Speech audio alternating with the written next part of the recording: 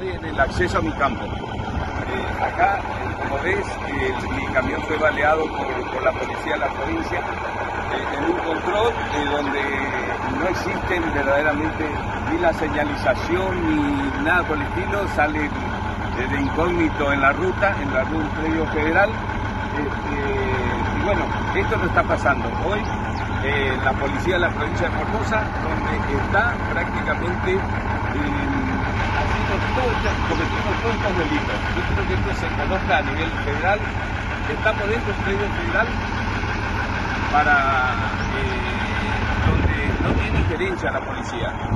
Manifiesta, arman, eh, eh, arman delitos que cometió mi chofer. Mentira, verdaderamente le salieron del monte este, y hoy lamentablemente nadie cree en la policía, está desacreditada y esto no está pasando. Señor Intendente, ¿fue baleado el camión? Ahí está. Fue baleado, pulsado por los oficiales. El oficial que, que... Como delincuente. Bien delincuente. Ahí está. La policía hoy está trabajando, eh, eh, cometiendo estos delitos en perjuicio de la, de la sociedad. Yo simplemente estoy acarreando agua para mis animales, mi actividad pecuaria. Y bueno, todos los policías como ustedes ven, ahí no había señalización, recién están trayendo los conos, recién están poniendo los conos, eh, no existe señalización, no existe eh, control. ¿Con auto de civil?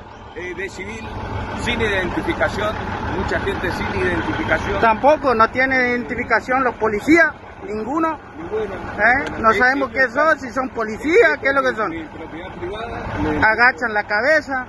Pobrecito, ellos no ¿Eh? tienen nada que ver, pues son eh, eh, subordinados y ellos tienen que, lamentablemente, eh, cumplir obedeciendo las órdenes que le dan sus superiores. Pero este... acá vemos al intendente Basualdo tratando de hacerle llegar el agua a sus animales, porque por decisión del gobernador Gildo Infran y de Antonio Ferreira los animales no pueden tomar agua.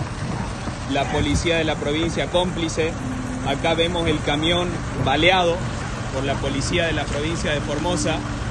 Todo esto sucede por orden del gobernador de la provincia, el doctor Gildo Infran, y por orden del jefe de gabinete, Antonio Ferreira, los únicos responsables de todo lo que sucede con la policía de la provincia en Formosa.